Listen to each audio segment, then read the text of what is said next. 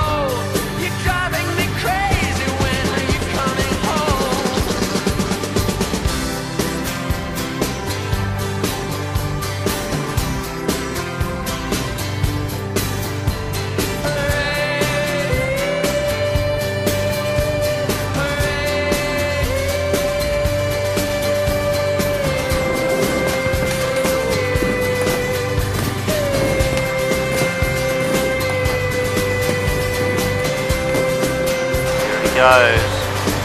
Brendan. Margeeson. Oh, nice one.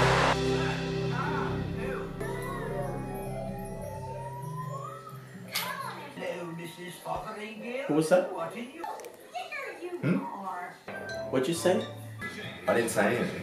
Wait. When? Just now?